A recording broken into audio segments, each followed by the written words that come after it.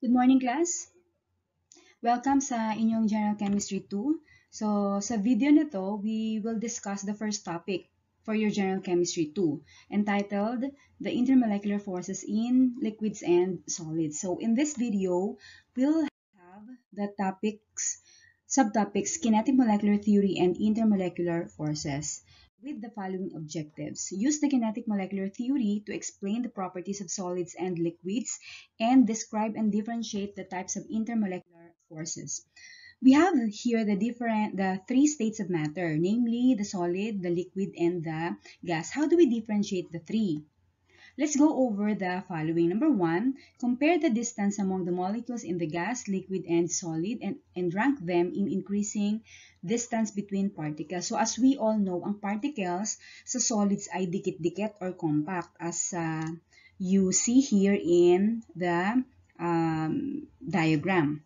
In liquids, particles are separated. And in gases, particles are widely separated. So in terms of the distance between particles, the smallest distances are in uh, solid particles, wider distances between the liquid particles, and widest or largest distances between the gas particles. Number two, describe the movement of particles in solid, liquid, and gas. Because there is limited uh, space between particles in solids, uh, there is also uh, limited movement among the particles. So, ang movement ng particles ng solids ay more uh, appropriately described as vibration. So, because of the limited spaces between particles, uh, ang, ang tendency nila is to, to, to vibrate. Whereas in the particles of, between the particles of um, liquids where there are wider particles, uh, molecules are or particles are freely moving. They are able to move freely because there are spaces. In uh, gas particles, there are greater tendency to move. So, the movement of particles ay mas uh, loose kesa sa particles between uh, kesa sa particles in solids and in liquids. So it's it has something to do with the spaces between and among particles that the mobility or the movement of particles is dependent on. Number three, describe the arrangement of particles in solid, liquid, and gas. Arrange the phase of mat phases of matter in order of increasing volume and empty space between particles. So as we have mentioned earlier, the particles in solids are compact. Particles in liquids are separated and particles in uh, gases are widely separated. So if we are to arrange the phases of matter in order of increasing volume or empty spaces between particles, there are largest uh, spaces between particles in gases. So that will be that will be um, increasing. That will be number uh, last last in the in the in the order. So if we are to order from the smallest uh, uh, volume to largest volume, it will be from solid, liquid to gas. Smallest volume in solid, greater in liquid, and greatest in or largest in uh, gases.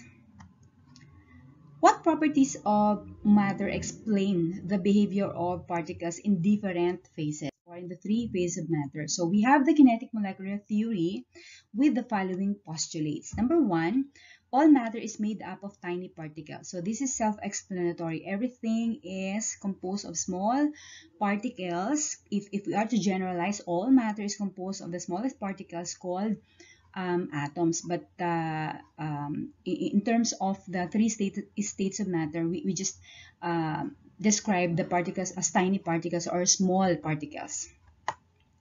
Number two, these particles are in constant motion. So even if the so even if the particles are compact as as in uh, the arrangement in uh, solids, there are still movement. Although the movement is limited because of the limited spaces between particles. So it, hindi po totoo na na pag solid ay walang movement ang particles. There is, kaya lang limited and in fact, the movement is described as vibration. So in terms of um, motion, mas uh, loose ang arrangement ng particles sa gases at sa liquid. So mas mo mobile, mas mas magalaw ang mga particles ng so, ng liquids and solids when compared to um, so liquids and gases as compared to um, solids. Number three, the speed of particles is proportional to temperature. What does that mean? When the temperature is high, the tendency of the particles is to more mobile, to become more mobile. So pag, pag umiinit yung particles, mas nagiging uh, magalaw sila. Tumataas ang kanilang kinetic energy. So the increase in temperature it means increase in the speed of, mas mabilis sila. Pro, pro, pro, proportional po ang temperature sa uh, movement of particles. So mas pag mas malamig, mas mababa yung temperature, tendency of the particles is to move slower, slowly. Okay, so that's what we mean by a proportional uh, relationship between the speed of the speed of particles and the temperature. Number four, solids, liquids, and gases differ in distances between particles and the freedom of motion of particles and extent to which, to which the particles interact. So again, uh, what accounts for this is the distances between, the difference in distances between particles. So in summation, what are these property? What are these properties that uh, uh, that distinguish the three states of matter? Let's have number one.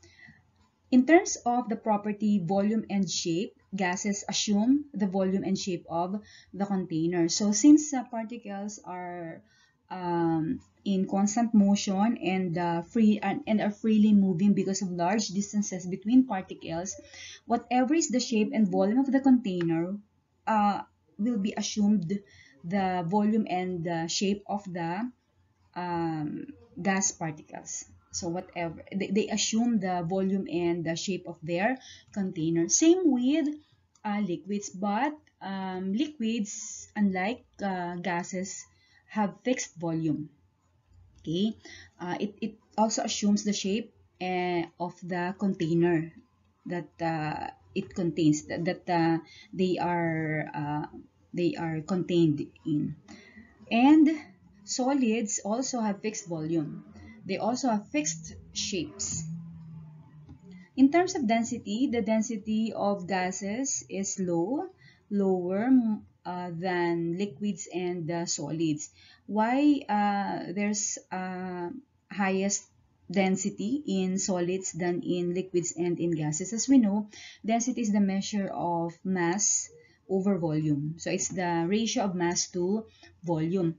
If in a given space or volume, there are smaller number of particles because of large distances between particles, then you assume that mass is also smaller because the greater the number of particles, the greater the mass.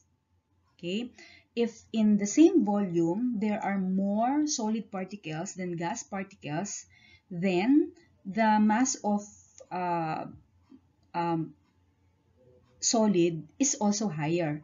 So this means that the higher the mass, the higher the density. Again, the, the, the what accounts for the higher mass is the arrangement of particles because more particles can occupy a given space or volume, then uh, it gives higher mass. The higher the mass, the higher the density. So in a given space, only few gas particles can occupy. So since there's smaller number of particles, mas mababa rin yung mass nun. Kasi mas konti yung particles, mas mababa yung mass, mas mababa yung density. So what accounts for the low or high density is the arrangement also of particles. How they occupy, how much of them occupy a given space or volume.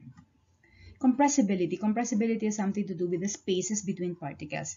The greater the spaces between the particles, the higher the compressibility. So gases are easy to compress. Liquids cannot be appreciably compressed as well as solids. In, in terms of motion of particles, uh, as we have uh, mentioned earlier, um, solid particles vibrate because of limited space. In liquids, there is random, medium speed because of limited distances between particles. And in gases, there is random, faster and cover large distances between particles. So, so this is how we uh, can uh, we can distinguish among the three states of matter, solid, liquid, and gas in terms of the uh, these properties. Okay, so this is a diagram of solid particles. They are well arranged in this solid, and in fact, it is a crystalline solid. So in crystalline solid, there the particles are arranged in order particles are essentially in fixed positions. They are closely packed together. What happens as the solid is heated? So let's see the let's see the arrow towards the left. So what happens to the solid particles when they are heated?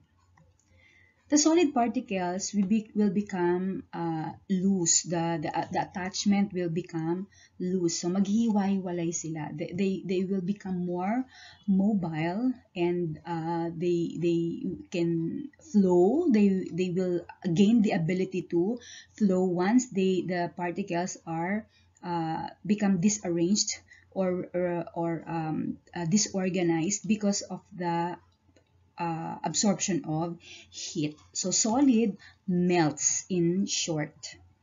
What about, yeah, so as uh, solids become liquid, uh, particles become in, in a certain disorder. Uh, particles or clusters of particles are free to move relative to each other and particles are close together. Okay, what about when the liquid is further heated?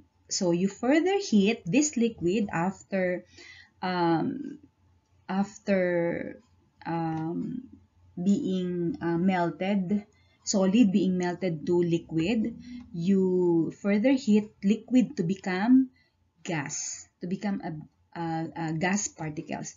So, ang nangyayari pag umiinit ang solid particles, nagiging mas mabilis yung particles until such time that they uh, break away from the chemical bond. So they, they become loose, the, the attraction become loose. You add more heat, the attraction between particles in the liquid state is also overcome because of the heat energy. So, mas nagiging malakas yung puwersa, yung forces uh, ng uh, particles and they break away. If you contain the particles in a closed container, then they will just uh, move around there, um, tolerating the amount of heat they are absorbing. Uh, in such uh, until such time, let's say you heat it further pa, ininit mo pa siya ng mas mainit pwedeng yung pressure, because of gas law, we have um, this uh, Gay-Lussac's law. Increase in temperature means in, in increase in pressure. If the container is uh, not strong enough, uh, pwedeng mag-cause yun ng explosion. Kasi dahil sa sobra, sobrang taas ng pressure caused by the uh, extreme uh, amount of heat energy, for example, magkakaroon ng tendency na mag-burst because of the increased temperature that results to increased pressure. So this is the reason why we don't dispose of uh, uh, ng basta-basta na lang yung mga yung mga aerosol can, yung mga perfume cans kasi pag nainitan yung mga gas particles na naiwan from the leftover perfume ay pwedeng o, tumaas ang pressure at mag-cause yun ng explosion dun sa lalagyan or sa lata. Whereas uh, pag, in, pag pinalamig mo naman itong uh, gas na to, in short, we, reversing the process, the gas particles when cooled, uh, particles will become closer. So mag, mag maglalapit ulit sila because uh, we, we have the idea earlier the temperature is proportional to to um, kinetic energy. So pag bumaba yung temperature nito, bababa yung kinetic energy, babagal. So magiging mas close yung particles with one another. Pag pag uh, inalaw mo pa na bumaba pa yung temperature, uh, let's say you, it's it's uh, it's um, uh, water. Pag pinalamig mo pa siya, nilagay mo for example sa freezer from 30-40 degrees uh, room temperature, pinalamig mo siya, uh, ang tendency ang, ang mga molecules ay magiging mas close pa to one another until such time that it becomes solid. So that's the effect of heat energy. Okay, the change in kinetic energy uh, it may, may, be due to the difference in temperature, change in temperature. Uh, increase in temperature means increase in kinetic energy. Okay, to, to uh, moving on, let's first, before we go to the next uh, subtopic included in the video, let's review the uh, following types of particles. Number one is anion. Uh, we know that an ion is described as any particle with a positive or a negative charge. So if it's positive, it's called cation. If it's negative, it's called an ion. Another type of particle that we have to take note of before we proceed is a dipole. Dipole is called a dipole because there are two poles. One end of a molecule is positive and the other end is negative. Dipole moment is described as the product of charge and distance between the charges in a molecule. That is represented by uh, the, the figure. We have an arrow Let's take, for example, hydrogen sulfide or dihydrogen sulfide. The um, structure of the line, the line bond structure of uh, hydrogen sulfide may be represented with uh, the following, by the following. So we have one sulfur bonded with two atoms of hydrogen. So as you can see here, we have the dipole moment where wherein the arrowheads are towards, so halimbawa sa, sa hydrogen, ang arrowhead ng arrow is towards the sulfur.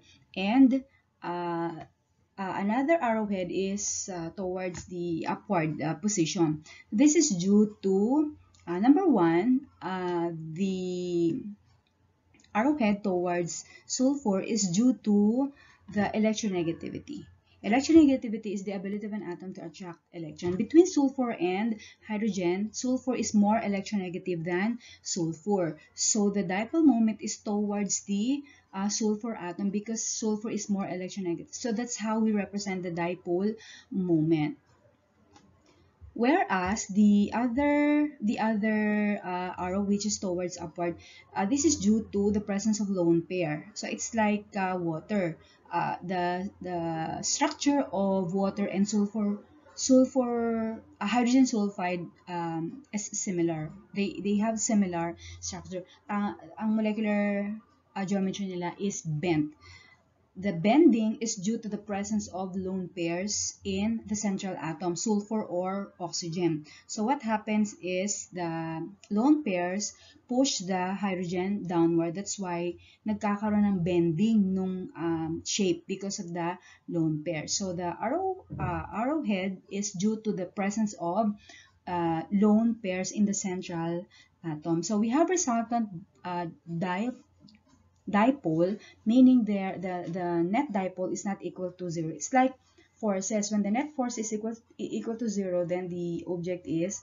at a stationary position. On the other hand, pag may naman resultant force, ang tendency ng object is uh, uh, gumalaw. So in this case, the resultant dipole is a result of an equal sharing of electrons. So we know the meaning of uh, sharing of electrons. This happens when uh, nonmetals combine to share electrons. So when sharing of electrons uh, is not equal, the tendency is to um, obtain a resultant dipole. Let's try the following. Uh, can you draw the Lewis structures of the following molecules with the correct shape and uh, shape around the central atom? Number two, indicate each bond's polarity by drawing an arrow to represent the bond dipole along each band. Number three, determine the molecule's polarity and indicate this with an arrow to represent the dipole. So it's similar to number two.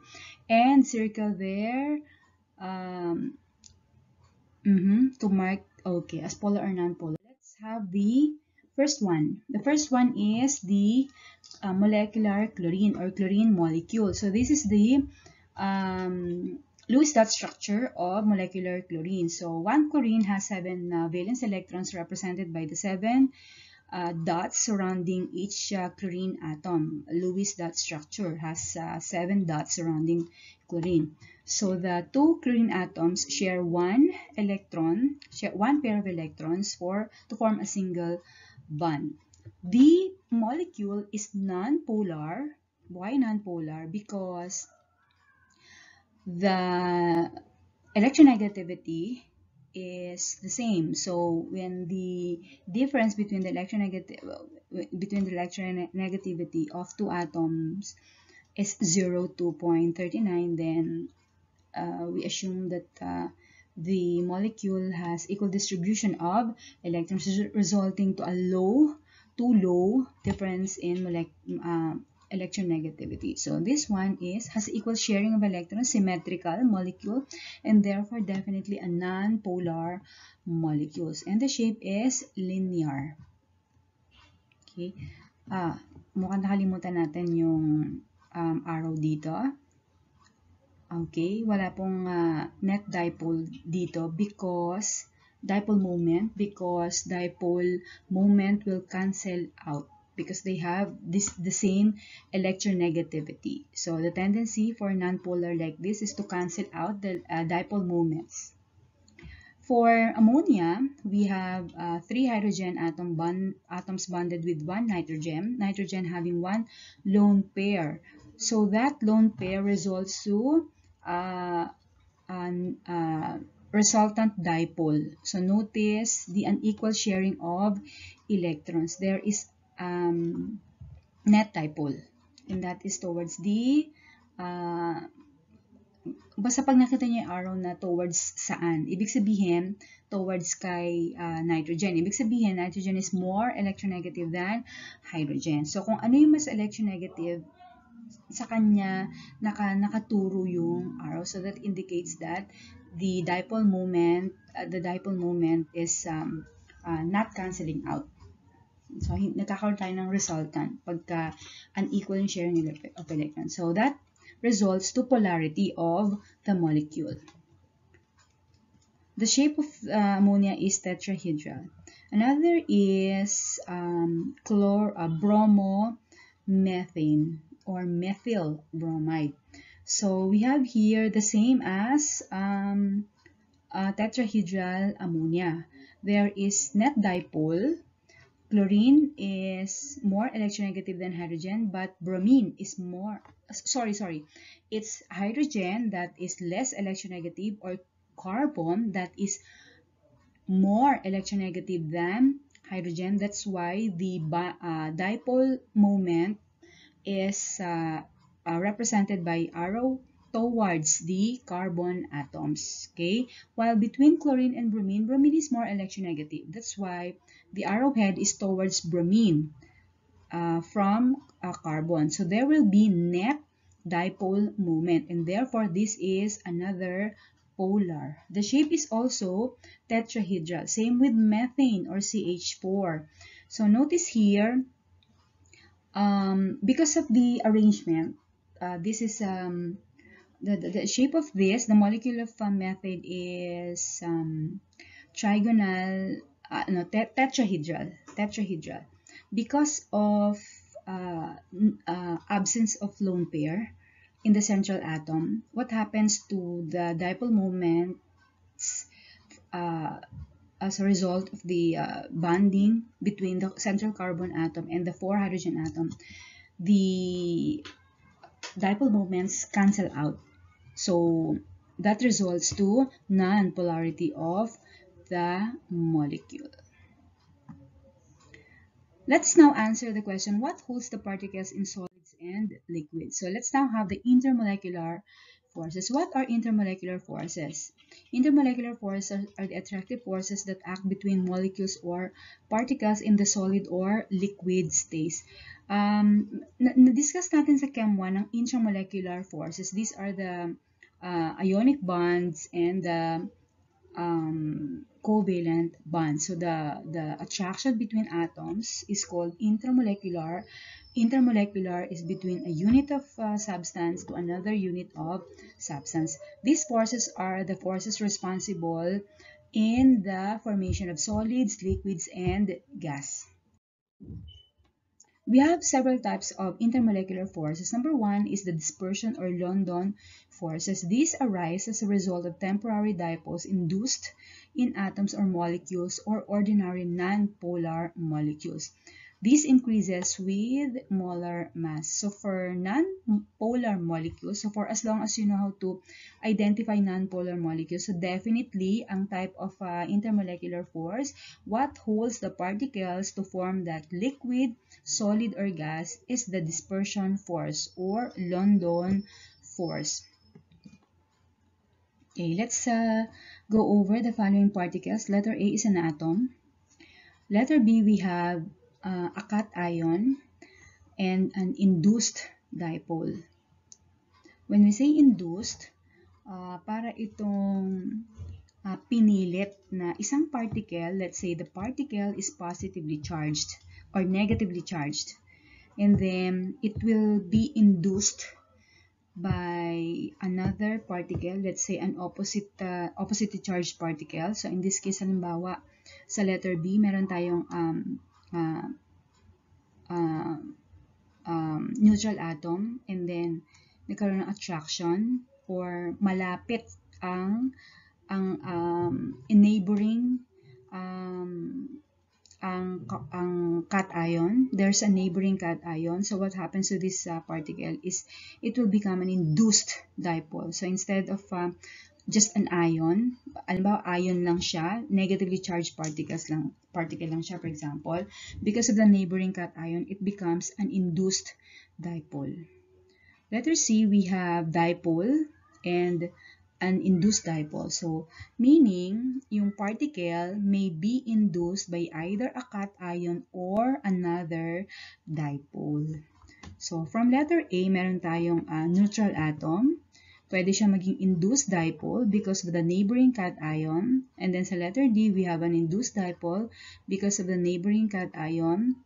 Uh, rather, a, a dipole, uh, pwedeng yung atom is also induced by another by a dipole. So, pwedeng ang mag-induce sa atom to become a di an induced dipole is either a cation or another dipole. Polarizability is the ability or the ease with which the electron distribution in the atom can be distorted. So the easier for, an, uh, for a particle to be distorted, the higher its polarizability. Okay. Another type is the dipole-dipole forces. Dipole-dipole forces uh, exist between polar molecules which possess dipole moments. The larger the dipole moment, the greater the force. So if uh, the type of IMF exists between non-polar molecules are dispersion forces or London, London forces, between polar molecules it's dipole-dipole. So we have here a simple illustration. The, a dipole is attracted with another dipole. Another is the ion dipole forces. So we have here between uh, attraction between ion and a polar molecule or a dipole. Strengths depend on charge and size of ion, magnitude of dipole moment, and size of molecule. So for example, we have uh, a dipole here. So that when that is attracted to a, a, an ion, let's say sodium ion or an, an or an iodide anion. So the attraction between the two is called the ion dipole forces. Another is the hydrogen bond. Hydrogen bond is another uh, dipole force, but this is a special type of dipole-dipole interaction. This is exclusive with uh, three non-metallic uh, elements or atoms, fluorine, oxygen, and nitrogen. Okay. There. So we have a special dipole-dipole interaction called hydrogen bond, which are exclusive with fluorine, oxygen, and nitrogen. When hydrogen atom is attached to one end of a small electronegative atom, uh, any of the three, fluorine, oxygen, or nitrogen, it will be attracted to another uh, fluorine, oxygen, nitrogen of another molecule. And the bond between the this any of these three and the hydrogen atom of the other particle is called the hydrogen bond. So as labeled here, we have the covalent bond between uh, the hydrogen and fluorine atom in hydrogen fluoride, another covalent bond between hydrogen and fluorine chloride, but the bond between hydrogen of one molecule and fluorine of another molecule is called the hydrogen bond. So between atoms of hydrogen and fluorine in the molecule is called a covalent bond, an intramolecular force. But uh, the hydrogen bond that forms between the hydrogen of one molecule and the nonmetal of another molecule is called the hydrogen bond. Let's try to answer the following. Identify the types of IMFs or intermolecular forces in each of the following molecules. Number one is benzene. Number two, okay, let's have number one, benzene. Benzene is nonpolar. So to be able to determine the type of intermolecular force, you have to be able to identify the substance as polar or non-polar. So if it's non-polar, then definitely dispersion or London forces. But if it's but but if it's uh, non-polar, automatically dispersion is a type of force that um, because of polarizability. So take note that dispersion or London force exists in all types of molecules or particles because of polarizability of particles. Only the degree of polarizability differs according to strength of uh, chemical bond, uh, dipole moment, and other factors that we have mentioned earlier. Number two, uh, dispersion. Dispersion because it's a molecule. It's a it's it's a particle. Between that particle and another particle, dispersion exists.